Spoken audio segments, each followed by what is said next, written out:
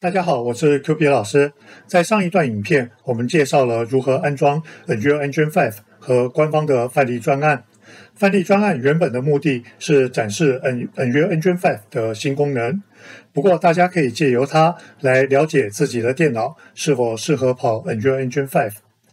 现在再回到关卡编辑器的起始画面，官方把这个画面称为专案浏览器 Unreal Project Browser。上次我们介绍了最上面的 Recent Projects 近期专案这一个标签，那在它的右手边可以看到许多最近曾经开启过的专案。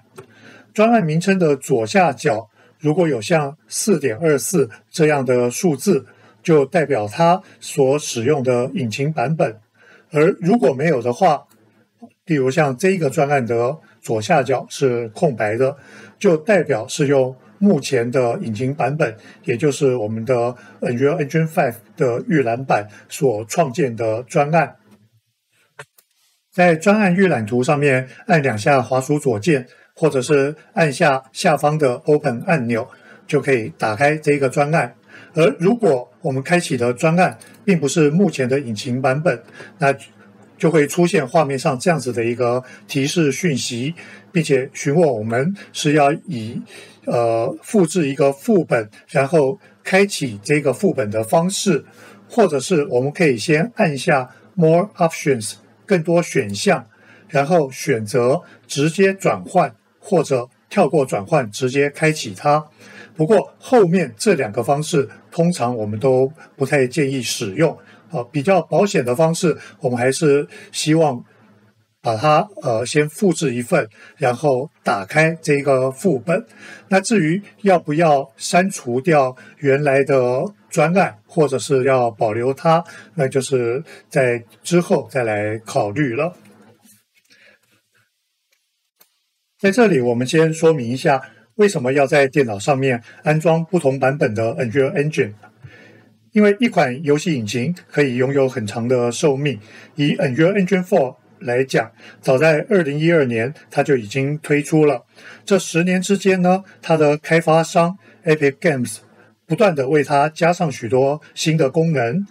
那也有些过时的功能会被取代掉，但是基本的核心架构和关卡编辑器的界面不会有太大的改动。这些改动就会形成许多的小版本，那会用引擎编号的第二个数字来代表。所以，像目前已经来到了第二十六版，也就是画面上的四点二六。但也由于这些改动，用比较旧版本开发的游戏，如果在比较新版本的引擎上面执行的时候呢，就有可能因为各种各样的原因。而发生一些意料之外的问题，所以，例如说，如果有一款游戏上市的时候是用四点二零版的引擎开发的，那在之后它就只会继续在四点二零版上面做维护。好，因此，对于游戏公司而言，公司的电脑上面就可能同时存在许多不同版本的游戏引擎。好，那至于引擎版号的第三个数字。比如说，我们回到呃 Epic 游戏启动器这边来看，像四点二六点二这个第三个数字的这个二呢，就只是代表一个维护的版本。好，那所以对于四点二六版的话，我们永远就会更新到它数字最大最新的那个版本。好，这里大家可以看到我装了四个不同版本的 Unreal Engine 啊。Unreal Engine 5的正式版本，官方宣布会在二零二二年初正式发布。距离我录这段影片的时间，足足还有半年。以 Epic Games 过去推出新版本的速度来估计的话，大概可以预期 Unreal Engine 5还会有至少二到三个 Early Access 或者是 Preview 的版本。而在 Unreal Engine 5正式推出之前，如果要开发有新的游戏，那即使是同学们的毕业专题，都还是建议使用4.26版。目前的 Unreal Engine 5呢，它只适合作为学习之用。原本官方宣称4.26版会是 Unreal Engine 4的最后一个版本，不过在不久之前，官方又推出了4.27预览和 Preview 这一个版本。那可能再过两三个月就会有4.27正式版的推出。那之所以会有4.27这一个版本，主要是针对影视相关产业的需求，因为在 Unreal Engine 5。尚未推出之前呢，呃，官方必须持续加强对虚拟制作 （virtual production） 还有像现场表演 （live show） 这个方面的资源，因为这两个都是目前在影视产业方面需求非常急迫的功能。所以才会有四点二七版。那如果你只有游戏开发方面的需求的话，其实是可以不用升级到四点二七版的。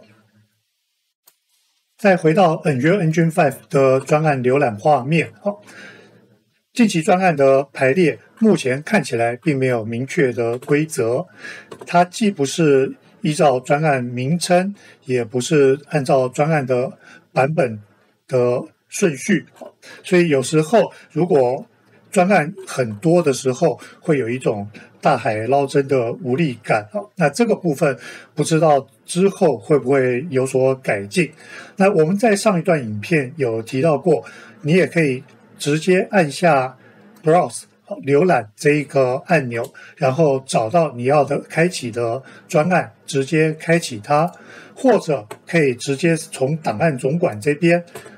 开启你所要的那个专案的资料夹之后，同样点选专案的这个专案档，按两下之后就可以打开它。那另外专案浏览器最下面这边有一个 Marketplace 这一个按钮，按下这个按钮的话，就会把 Epic 游戏启动器的虚幻商城这一个部这一个部分。给呼叫出来。好，那有关虚幻商城的介绍呢，请大家在另外参考我过往的影片，我会把影片连接啊放在底下的影片说明这边啊。那在这段影片里面，我就暂时不去呃介绍它。这里也顺带提到一下，Epic 游戏启动器占用的。记忆体的量其实不算太小，所以在平常不需要使用的时候，会建议大家把它整个关掉。好，那我们再回到 Unreal Engine Five 这边，在 Recent Projects 底下有四个按钮，这四个按钮是用来建立四种不同类型的新专案。第一个是游戏，好，那第二大类是影视跟现场表演这一类的活动。第三大类是属于建筑或者是工程类的这些专案，第四大类呢，则是跟汽车或者制造业或者工业设计有关的。那之所以会有这样子的区别，因为在每一个大类里面都提供了不同的范本。我们先从游戏这个部分来看，好。我们点下游戏这个标签之后，大家可以看到，在这个地方就是一些预先设定好的范本。好，第一个是空白，第二个是第一人称的游戏哦，就是直接从游戏玩家的视角看出去的这种方式。好，第三个是拼图哦，puzzle 这种或者说解谜游戏的这样子的一个方式。好，第四个是第三人称游戏。好。再来是呃类似类似像英雄联盟的这种哦 top down 哦从上往下看的模式哦。那第六个是扩增实境 AR，这个主要是搭配手机在使用的。第七个是 VR 虚拟实境哦，跟呃头盔等等这些有关啊。第八个是汽车赛车类的游戏。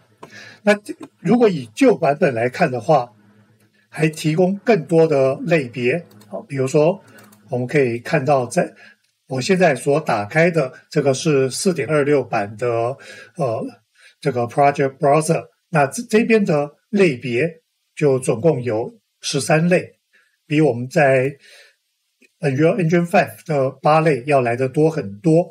那我们可以预期，在正式版推出的时候，这些应该都会在加进到 Unreal Engine 5这个地方。好，那除除了这八类的范本之外啊，比如说，如果我我们现在想要做一个第三人称类型的游戏，当然我们就先选到 Third Person 这边。好，那在右下角这个地方，这里是选择你要用 Blueprint。蓝图的方式来建立城市，还是直接要用 C 加加来撰写？那我想对于初学者而言，都是会使用 Blueprint。那等呃真正商业游戏里面来讲的话，那可能就会有非常大的比例会是用 C 加加来撰写，以求取最好的执行效能啊。所以这边你可以去切换它哦。那这个在专案执行的过程当中，其实也可以再切换的。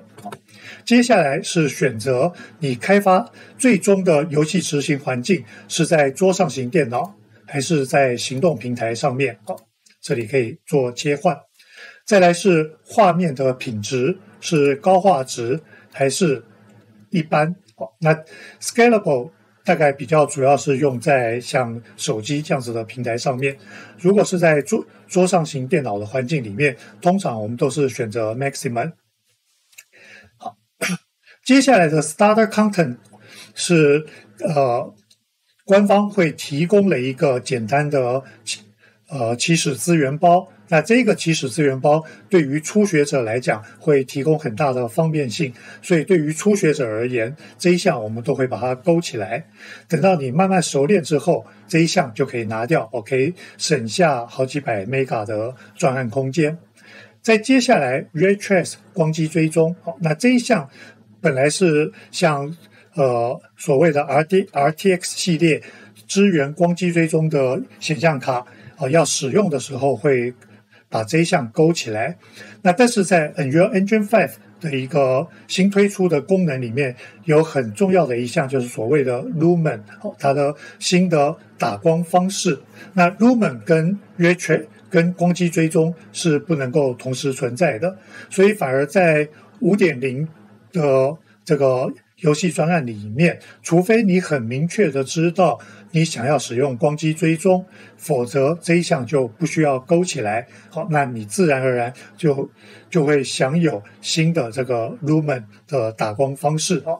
所以呃，简单一句话就是，对于初学者而言，这个部分你完全不用去管它。好，那接下来 Project Location 就是你的专案。预定要放在什么资料夹？那在上一段影片有跟大家讲过，我建议不要放在 C 磁碟机哦，请你在 D 磁碟机另外建一个适当的资料夹来放它。那所以你就可以先点选后面的这个 Browse，然后呃，比如说你有 D 磁碟机，或者甚至有 E 磁碟机，然后你再按下新增资料夹，哦，在这边建立一个新的资料夹，用这样子的方式。那接下来就是专案名称啊。那专案名称记得，呃，它不能够用中文，中间也不能够有空格，大部分的特殊符号也不能够使用，所以主要就是用英文的大小写跟数字的一二三四哦。那甚至大小写是没有区分的，所以这个部分大家要先记得。那设定好之后，你就可以按下 Create。就可以建建立一个新的专案了。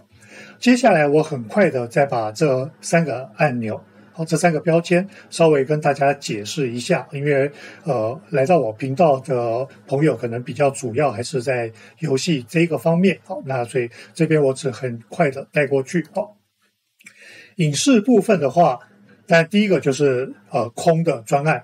第二个是 virtual production 啊，主要支援在摄影棚里面的一些呃虚拟制作啊，比如说这个绿幕合成，或者现在很热门的 LED 显示屏啊等等等等的这些功能，你就会选择 virtual production 好。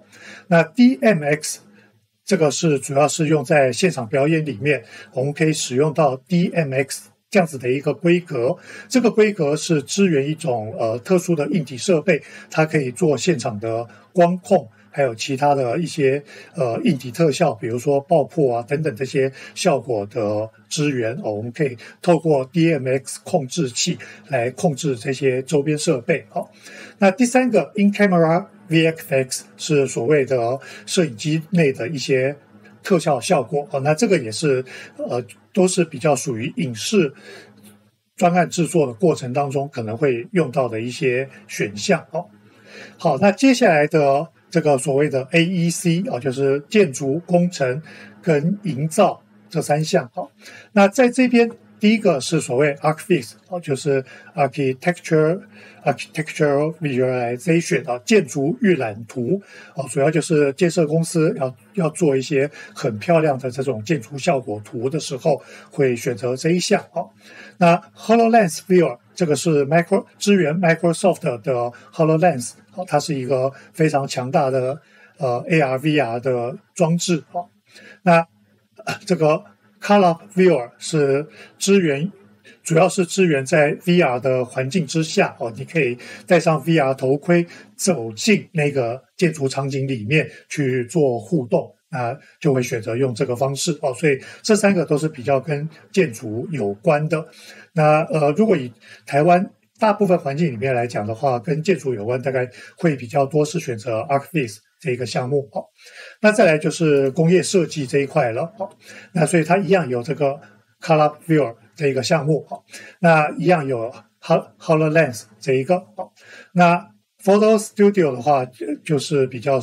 我们以这个图上来看，就是它可以用非常高画质的方式，主要是像这个呃汽车啊等等之类的，哦，就的这个预览效果。那另外，Product Configurator 的话是额额外增加了一些互动的功能，比如说我可以切换。